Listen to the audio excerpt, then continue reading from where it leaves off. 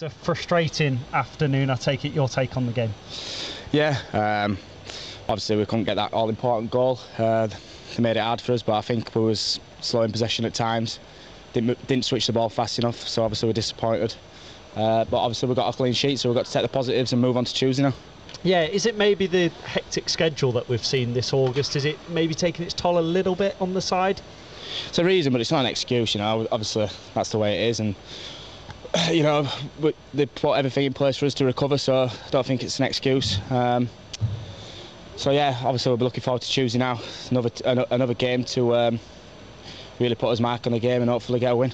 At this stage of the season, especially with a lot of new faces, Liam, sides we know are going to come to Valley Parade and frustrate you, like Crewe-Ovenden, like Doncaster. Done. Is it still at that stage you're learning just how to unlock sides when they come and set up like that?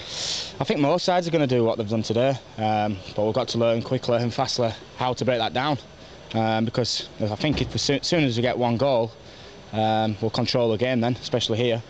So we've just got to learn how to uh, obviously break them down earlier than what we have been doing. Obviously we couldn't do that today. Um, but we'll obviously take the point and um, take the clean sheet and move on. As a defender in that back line, you're the only face in that back line who was here last season. You mentioned the positives of a, another league clean sheet here at home. How have you found the, the new players and playing in that new look defence? Yeah, you know, obviously um, there were a lot of recruits in summer that come in, new faces, uh, but you know we had six weeks in pre-season to gel, um, and yeah, it's, it, you know, the, all the lads are good, and um, I think we've started okay. Obviously, we wanted more points on the board, but I think uh, the fans can see that we're trying to move it, move in the right direction, and the performances and the wins should come.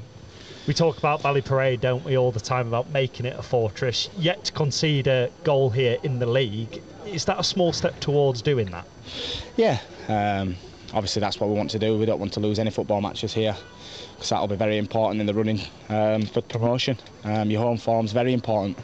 Um, so yeah, like I say, we just need to hopefully get that first goal because I think if we get that first goal, um, we'll, keep, we'll, you know we'll hold out and uh, and win the football match. That's kind of key, isn't it? Because you know what happens if you score first, it opens the opposition up a little bit more. And we saw against Newport with the first goal, you really got into your groove a little bit there. So it is about getting that goal and almost getting it early on, isn't it? Yeah, exactly. We need to get that goal. Um, obviously, it didn't happen today because just felt performance were a bit lethargic and we didn't move the switch the ball quick enough at times. Um, but yeah, like, like you've just said, we need to get that first goal, and uh, I think we'll control the game from then on in.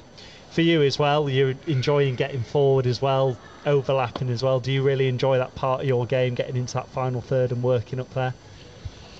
Uh, yeah, I do, but I don't think I've been doing it as much as uh, I have done last season. To be honest with you, if I'm being totally honest with myself, I'm quite hard on myself.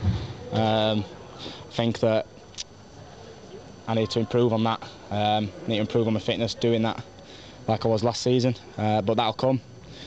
Uh, so yeah, just hopefully I can continue and uh, give more to the team. Credit to you for being honest. There. Do you feel that just to get up to that level, Liam, you are just around the corner? Yeah, absolutely. Uh, it takes time, you know.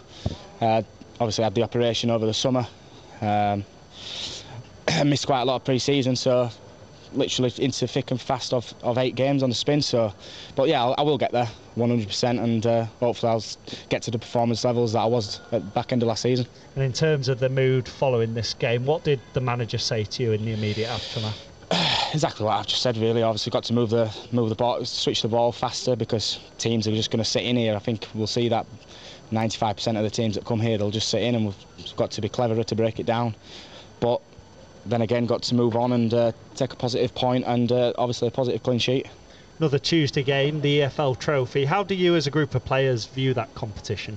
It's a competition to build momentum and win a football match. Um, obviously Sheffield Wednesday, I'm aware they've sold quite a lot of uh, tickets, so it'd be a great occasion. Sheffield Wednesday, a massive football club, so it'd be, it'd be brilliant to, uh, obviously a bit of a Yorkshire derby as well, so um, I think it'll be a good game. They won 5 0 today as well. They've continued their impressive start to the season in League One, but it's going to be another really good test for you and your side. Absolutely, but that's what we want. We want to, we want to challenge ourselves against the best because even on Tuesday, you know, Blackburn, I thought they was outstanding, and um, that'll put us in good stead for the rest of the season if we're playing against uh, good players like that.